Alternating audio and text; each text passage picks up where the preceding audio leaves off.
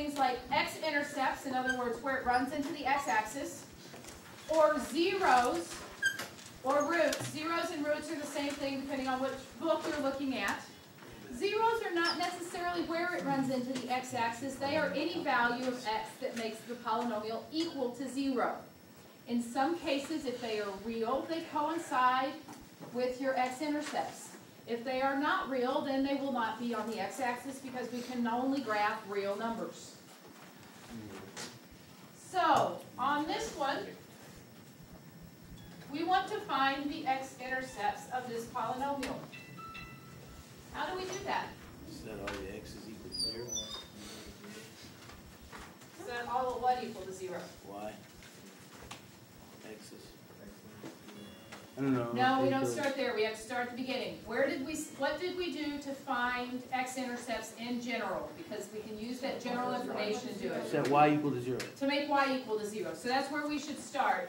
Because the way it's set up is if you always use that, then that will work for every function. Whereas if you start partway through the process, those things will not work for every function you get. So it's we'll zero. have zero equals x minus two times x plus three times five x minus four. Now, based on the zero product principle, that means one of those things has to be zero. So that means either x minus two equals zero, or x plus three equals zero, or five x minus four equals zero. If x minus 2 equals 0, this gives us x equals 2. If x plus 3 equals 0, this gives us x equals negative 3. And if this one's equal to 0, we have 5x equals 4, or x equals 4 fifths. The things that I have listed here are the zeros or roots of that polynomial.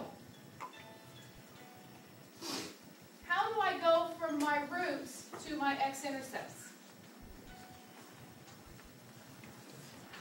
Plug. Make them points. So, 2, 0, 3, 0, and Four 4 fifths. fifths 0 are my x, Is that negative three zero? Yeah. uh, Yeah. yeah, thank you, x-intercepts. So don't you need y intercepts too though? We'll get to those in a minute. All I got is x so far. Okay. So-. When we put it, set the equation equal to zero and solve, we get the zeros in the process of finding our x-intercepts. Now, Bobby wants to know about the y-intercepts. How do I find those? That's what's up. Put in zero for x. So for this one, I'll have f of zero equals zero minus two times zero plus three times five times zero minus four, which will be negative two times a positive three times a negative four, which looks like twenty-four. Had to count how many negative signs I had there. Am I done? No. No. No. What should it really look like?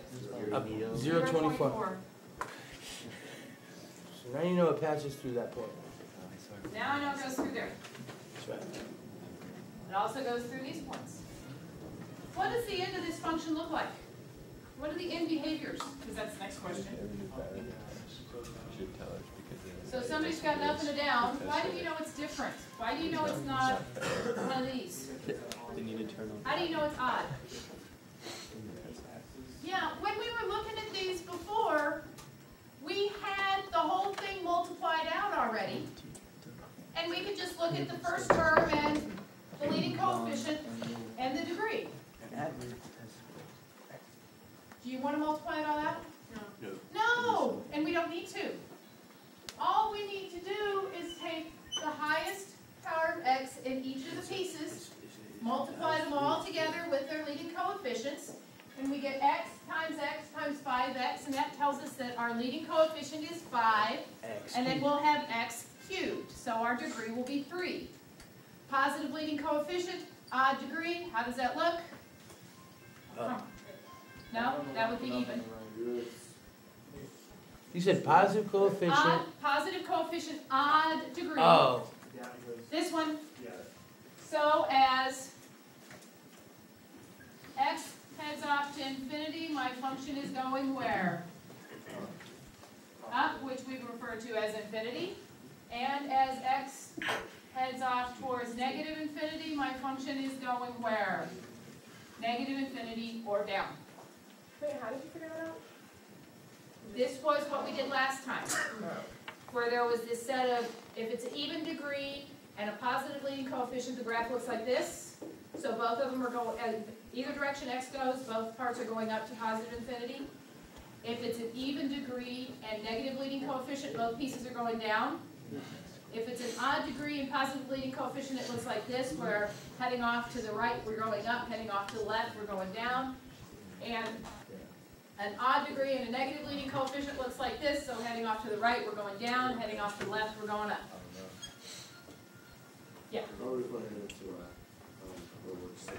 Um, so this part will be given, so will this, the arrow, and either you type in INF or negative INF, or in some problems, the infinity signs are already there, and all you have to type in is the positive or the negative to indicate which direction you're going. It depends on when the problem was written as to whether or not you have to type all that stuff in. Choose the next one right now. Now, for this function, one of the things I want to warn you about, we have some cubic functions and some fourth degree polynomials that we're gonna be looking at. In these, this section, you should be able to factor every one of them with a few exceptions. There are, there's a fourth degree that it's like a quadratic, so you can treat it like a quadratic and solve it as a quadratic polynomial and work from there. But otherwise, you should be able to factor these. So if I asked you to find the x-intercepts of this thing, what do we do? four x third, three x squared, So what was that? forty x. Factor out an x squared. I can factor out an x squared. So I set the whole thing equal to zero. And that's gonna be for x to the fourth plus x cubed minus twenty x squared. And then to make this solution nice, I'll just solve by factoring out that x squared. So I'll have zero equals x squared times, when I factor x squared out of x to the fourth, what do I have? x squared. When I factor it out of x cubed, I end up with x. And what about when I factor it out of twenty x squared? Well, I end up with minus twenty there. That's their derivative. That's So like. that means either x squared equals zero, or already know that. That's calculus. That's good shit. x squared plus x minus twenty equals zero. And somebody already told me this thing factors, so that's x minus four times x plus five equals zero. So this gives me x equals zero. This gives me x minus four equals zero, or x plus five equals zero. This will be x equals four and x equals negative five. So my points are zero, zero, four, zero, and negative five, zero. Now,